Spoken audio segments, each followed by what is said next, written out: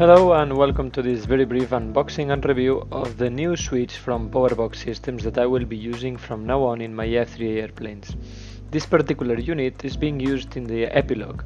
You can check the maiden flight clicking in the link in the top right corner of this video. So well, I've been using Powerbox switches since the very beginning. The quality of their products is more than known by all the F3A and aeromodeling community for aerobatic, IMAC jets, now they are even producing a very interesting transmitter, the core. But here I will show you the, well, a very simple but very important component of our airplanes. Since 2014 I've been using the Switch Sensor V2 which had two different inputs and outputs for separated LiPos so basically two switches in one. The sensor weighs 15 grams more than a normal DC switch and you have to use two small uh, lithium batteries but for us it's totally worth it because you don't depend on only a tiny 2S battery.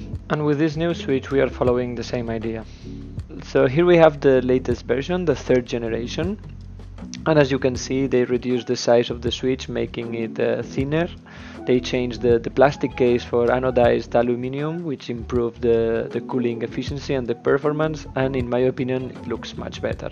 Uh, with this version you can adjust very easily the voltage from 6 volts to 7.8 uh, for high voltage servos. It works great with my new MKS servos. And yes in general I'm, I'm very happy with it. You have to follow the same sequence as with previous Powerbox systems, just holding the button and then press it again to switch on and the same for switching off. It has now two LEDs that can display the, the battery you still have, the percentage of the battery.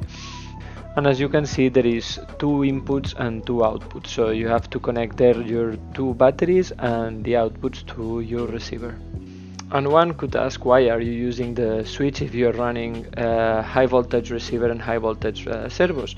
Why you don't connect directly your battery to the receiver? No, uh, the reason is because you want to keep the voltage con uh, constant during the whole flight. It's very important to that the servos receive the, the same input during the whole flight to keep the same speed, the same force, and yeah, keep the same feeling of the plane. I will leave in the description of this video the links to the product and also to the manual in case you want to check it out and see all the specs and all the functionalities it has. So, to summarize, here you have one of the best switches in the market right now, um, especially for F3A, but also for any other kind of RC plane. And yeah, it's lightweight, uh, it's simple, very easy to use. Uh, you can connect two batteries it's fully adjustable so for me is perfect for my airplanes and this is the one I will continue using for the next seasons